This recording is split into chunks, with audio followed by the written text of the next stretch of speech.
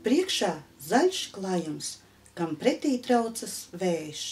Mums pretī skrien zaļās zāles viļņi, lidinās daudzkrāsaini tauriņi, dūts vaboles, augstu gaisā trallina cīruļi.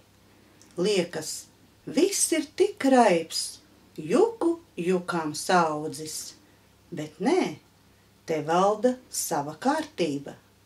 Visiem augiem un dzīvniekiem, ko te sastopam, te ir mājas. Par ko es stāstīju? Pareizi, tā ir pļava. Pļava ir vieta, kur aug dažādi lakstaugi. Pļavas atrodas starp tīrumiem un mežiem, upju krastos. Pļavas ainavā galvenie ir zālaugi, jeb lakstaugi. Vai atceries? Lakstaugi ir augi, kuriem ir mīksts stumbrs. Laksti, jeb mīkstie stumbri, rudenī nokalst un aiziet bojā.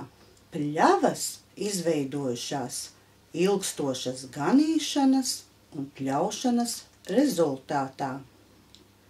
Ja pļavas netiek ganītas, tās pamazām aizaug ar kokiem un krūmiem.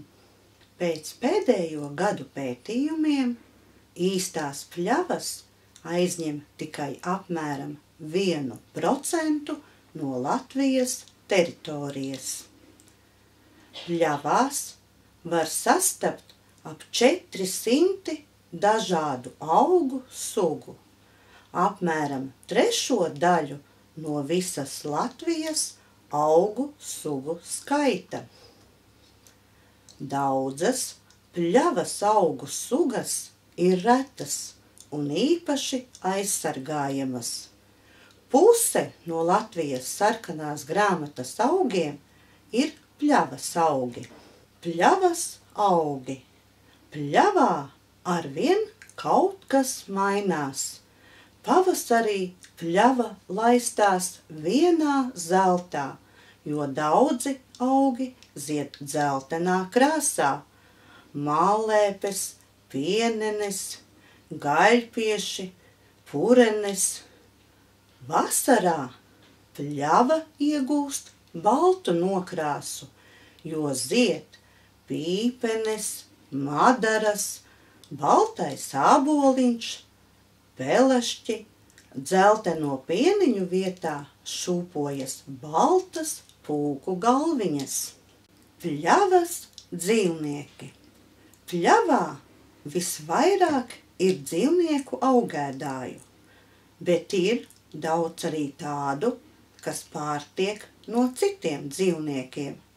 Šeit tu sastapsi vārdi, kurmi, peli, sienāzi, bites, kamenes, stārķi, lauku cīruli, skudras, tauriņus, mārītes un citus dzīvniekus. Pļavas izmantošana. Pļavas tiek daudzveidīgi izmantotas. Pļavās tiek ganītas govis, aitas, kazas, zirgi. Vasarās vāc sienu un skāpsienu. Putni bija savas līgzdas, arī daudzi meža zvēri savus mazuļus paslēpj garajā pļavas zālē. Cilvēki pļavā mielojas ar gardām zemenītēm un vāc ārsniecības augus. Pļava sevī slēpj bagātības.